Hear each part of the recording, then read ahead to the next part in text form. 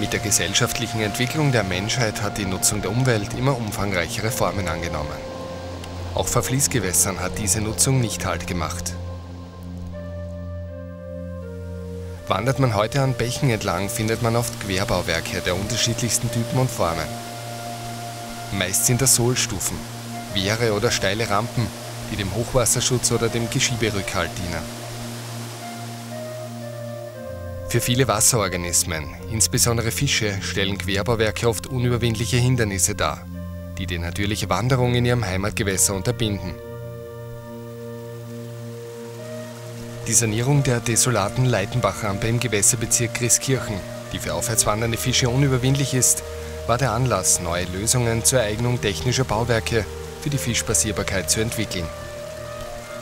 In enger Kooperation mit dem Bundesamt für Wasserwirtschaft, dem Institut für Gewässerökologie in Schafling und dem Institut für Wasserbau in Wien, dem Gewässerbezirk Grieskirchen, der Gemeinde Kematen am Innbach und der für den Leitenbach zuständigen Wassergenossenschaft initiierte die Unterabteilung Schutzwasserwirtschaft und Hydrographie das Projekt Modellversuch aufgelöste Rampen zur Untersuchung der Stabilität dieser speziellen Bauwerke und den Bedingungen der Fischwanderung, wie von der Wasserrahmenrichtlinie der EU und dem österreichischen Wasserrecht gefordert.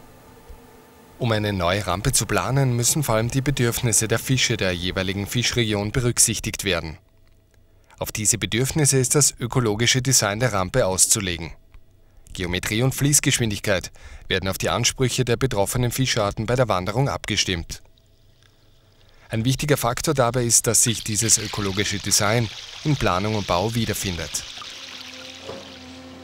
Die intensive Auseinandersetzung mit dem Bauwerk erfordert handwerkliches Geschick und das Feingefühl des Bauteams. Auch die Bauroutine und das Wissen um geforderte ökologische Ansprüche sind bei der Errichtung von aufgelösten Rampen förderlich. Die Rampe wird ohne Verwendung künstlich hergestellter Rohstoffe wie Beton oder ähnliches gebaut. Das Gewicht der Steine ist dabei ein wichtiges Stabilitätskriterium. Nach der Fertigstellung und Inbetriebnahme eines neuen Bauwerkes kommt es erneut zu einer Elektrobefischung, um dabei Veränderungen der Fischfauna im Bereich des Bauwerkes zu dokumentieren.